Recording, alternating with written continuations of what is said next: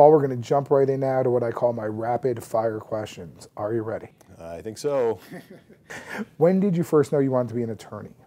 Ugh. I was an engineer before I went to law school. Um, and as I got to my fifth year of uh, uh, school for engineering, I'd been doing a work study program and was thinking, I'm not sure if this is for me.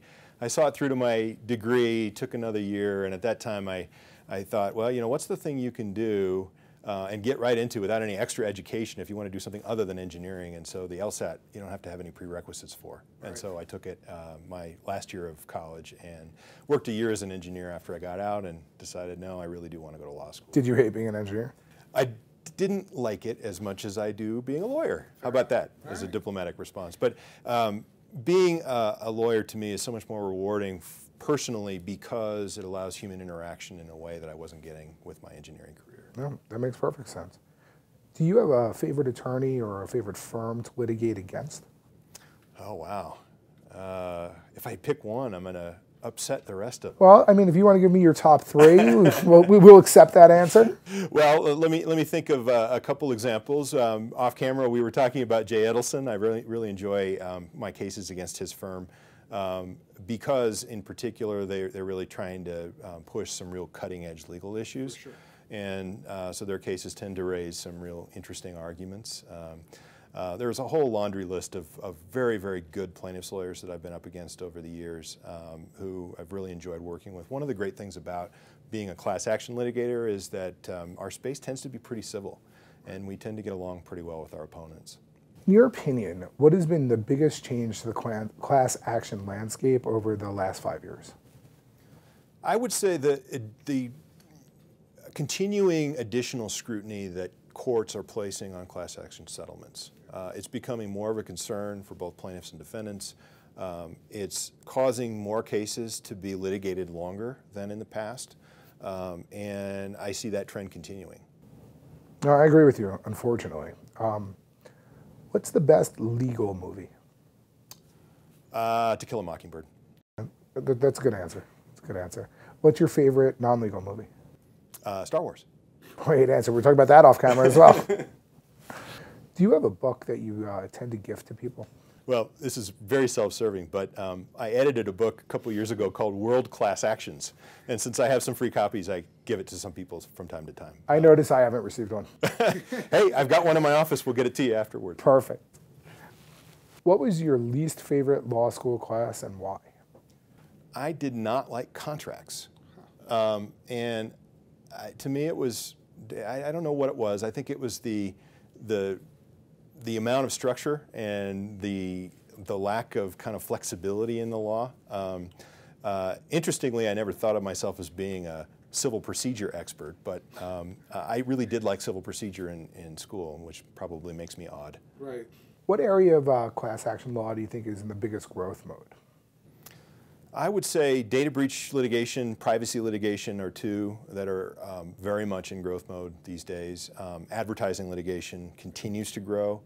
Uh, those are two of the biggest ones. Um, I certainly don't see every aspect of, uh, I do mostly consumer class actions, but in the consumer class action area, those are two big ones. No, I agree with you. I would say that they account for a, an enormous chunk of the settlements that we're administering right now. We're also seeing a broad uptick um, in antitrust settlements. Um, but yeah, I agree.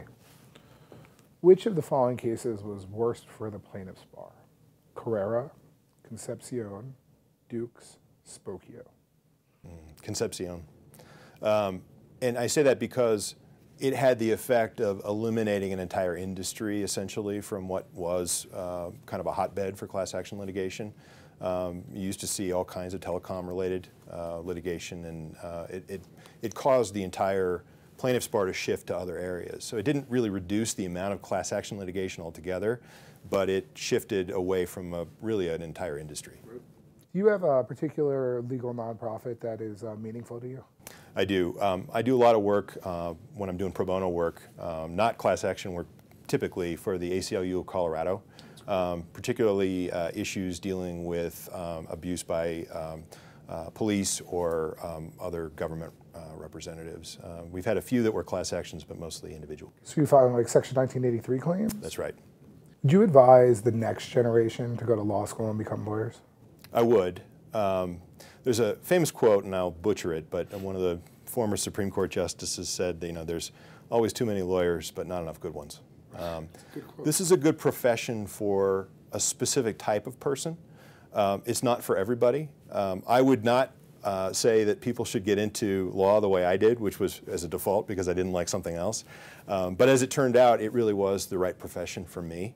Um, I really enjoy the, the thinking part, the analytical part, um, but it combines that you know, analytical part with the ability to stand up and um, you know, uh, uh, advocate for a client and also have interpersonal communications and interactions. And, and, I like all of those aspects of it. And so, again, it's not for everybody, but for the right person, it's a very rewarding profession and it will continue to be for a long time. Sure. What do you think is the most beautiful courthouse in the United States?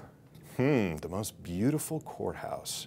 Um, well, I'd like to think that our 10th Circuit Courthouse, which is right across the street, uh, is, is very nice. Um, may not be the most beautiful, but it's the one that comes to mind right now. Right. It's very beautiful. It's got some, it's got some lamb or some uh, uh, rams outside. Uh, that really get it, kind of give it a Western flair. Sure does. I saw it when I was walking up. In closing, uh, if you had a, a poignant piece of advice to impart on the next generation of lawyers, what would that be? I would say um, continue to strive for civility in the profession um, and to do that despite the pressures you might have from either clients or opponents or judges or anyone else who might influence you.